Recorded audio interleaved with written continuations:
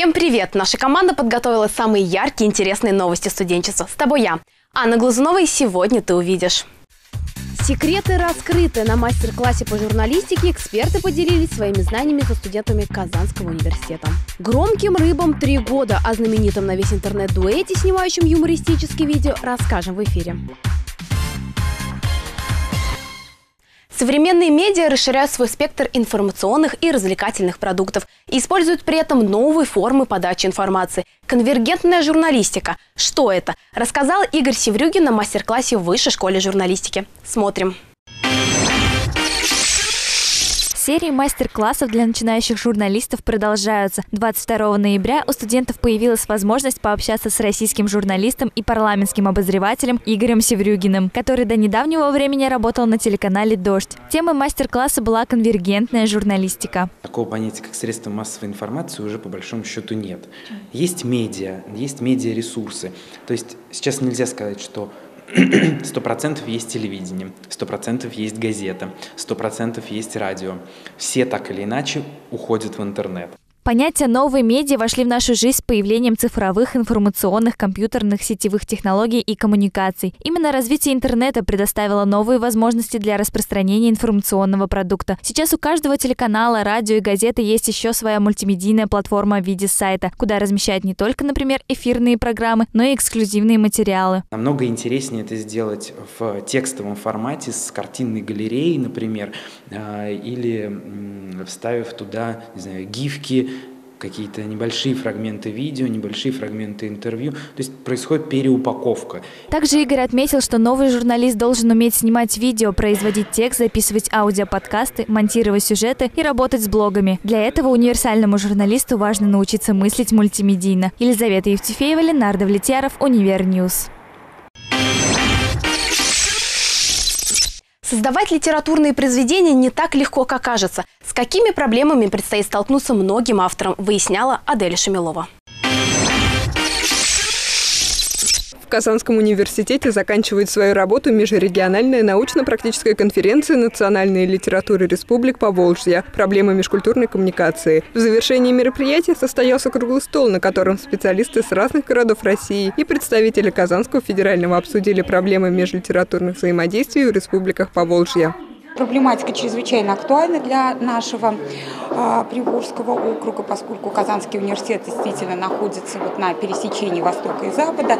Здесь э, взаимодействуют разные э, культуры, литературы.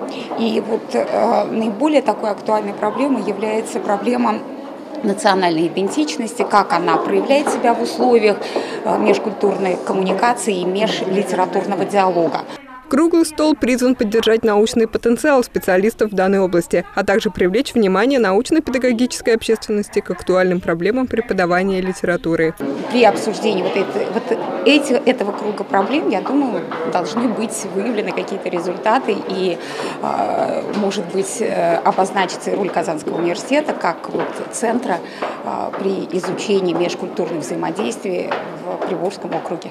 В течение двух дней усердной работы конференции специалисты приложили максимум усилий, чтобы найти пути решения целого ряда проблем межлитературной коммуникации и выяснить, действительно ли литература имеет свою неповторимую художественную эстетическую природу. Адель Шемилова, Роман Самарин, UniverNews.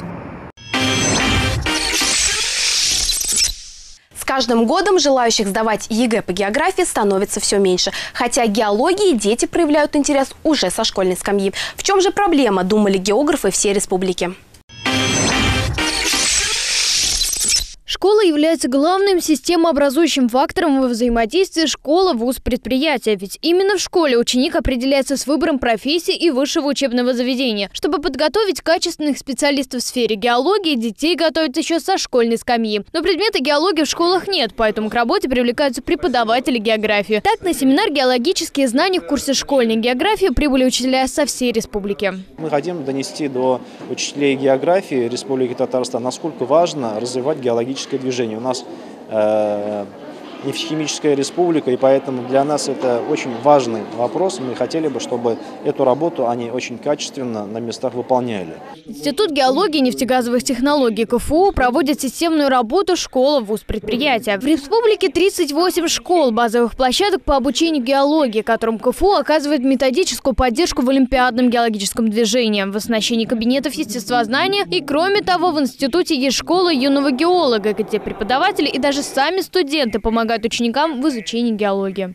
То есть это такая организация, объединяет преподавателей, которые работают со школами. Здесь есть два варианта. То есть либо преподаватель работает прямо в школе, либо дети приходят, а, собственно говоря, в институт и работают с нами.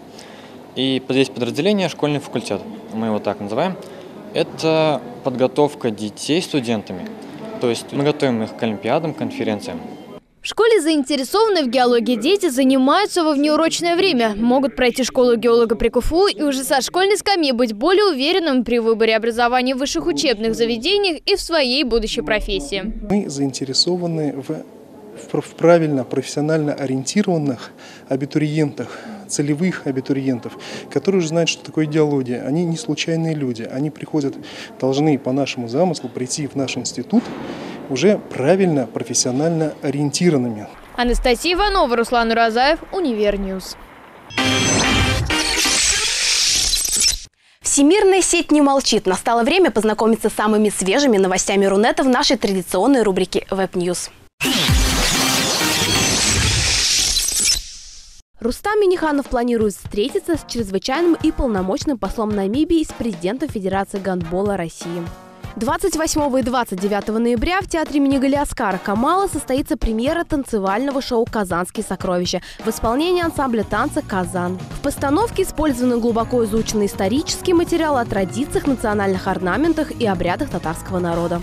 В знаменитом доме Михляева на улице Мусы Джалиля, 18 завершились противоаварийные работы. Именно в этом здании в свое время останавливался российский император Петр I, и, если верить городским легендам, именно там он отмечал свой 50-летний юбилей.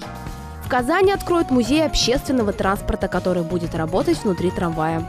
Главную новогоднюю елку из парка Тысячелетия перенесли к центральному стадиону. Высота елки в этом году составит 42 метра. Ильшат Гафуров в честь 212-летия вуза выделил профсоюзу студентов КФУ 7 миллионов рублей. Сегодня в профсоюзной организации студентов насчитывается 20 626 человек. КХЛ признала хоккеиста из Татарстана лучшим нападающим недели. Им стал Жильбер Брюле из Нижнекамского нефтехимика. Google займется оцифровкой объектов культурного наследия Татарстана. Google будет сотрудничать с Татарстаном не только по образовательному проекту для предпринимателей бизнес-класса, но и в сфере туризма и культуры. Психологи фонда «Твоя теория» будут помогать подросткам ВКонтакте. Специалисты фонда приступят к оказанию поддержки подросткам, находящимся в критической психологической ситуации. Кто не знает знаменитый дуэт «Громкие рыбы»? Пожалуй, каждый хоть раз слышал или видел их нашумевшие хиты. 23 ноября ребята будут праздновать свой день рождения. В этот день им исполняется три года. По этому поводу мы задали им пару интересующих вопросов. Как это было, ты узнаешь в сюжете Дианы Шиловой. 23 ноября знаменитому дуэту «Громкие рыбы» исполнится ровно три года. Вот уже на протяжении трех лет Тимур Исмаев и Кирилл Карамов воплощают свои творческие идеи и радуют своих поклонников все новыми и новыми видеоработами. А ведь история их создания зародилась еще со студенческой весны. Однажды мы были студентами, и мы занимались студенческой весной. А, студенты, весна, все логично. И что-то какое то так получилось, что мы начали туда снимать видеоролики. А, сняли несколько видеороликов, и получилось так, что как нас тут порвало. Один из видеороликов у нас занял, э, занял 260 тысяч просмотров. Ой, 2 миллиона 600 тысяч просмотров. Вот. А, у нас, у нас получилось снять несколько хороших видеороликов, и нас позвали на Универ ТВ работать здесь. А, и здесь реализовывать свой, свой талант. Свой день рождения ребята начали праздновать уже 21 ноября. В этот день они пригласили всех, кто когда-либо принимал участие в создании их юмористических видеороликов. В честь нашего трехлетия мы решили собрать всех людей, которые когда-либо снимались у нас за три года во всех наших видеороликах. Э, пришло 10% э, лишь но это уже 20 человек на самом деле, что немало. Это наши все самые, так сказать, востребованные актеры, которых мы чаще всех зовем. А, вот, они пришли. Мы обещали фуршет, но... Но видите, да, если бы мы не обещали фуршет, то было бы еще меньше народ, понимаете? Пожалуй, в Казани найдется ни одного студента, который хоть раз не смотрел или не слышал об их нашумевших видеоработах. Ведь чего только стоит гречка в зубах или все любят программистов. Хотим мы покорить российскую аудиторию. Это YouTube. Вот. Он пока еще у нас не покорен так до сих пор. Я так считаю, территория пока еще неизведанная, не завоеванная, там еще нет наших флагов. А, вот, так что вскоре-вскоре, я думаю, вот такие планы у нас впереди. Ну и, конечно же, можно снять полнометражный фильм, почему бы нет, мне кажется. Это всегда хороший ответ у, у любого э, видеографа. Да, я планирую снять полнометражный фильм. Надеемся, что Тимур и Кирилл еще долгое время будут радовать своих поклонников своими работами. А может, в будущем они воплотят в себе все величие Мартина Скорсезе или Кристофера Нолана и снимут свой полнометражный фильм. Диана Шилова, Ленар Давлетьяров, UniverNews. Это были все новости на сегодня. Всем хорошего настроения. До скорых встреч.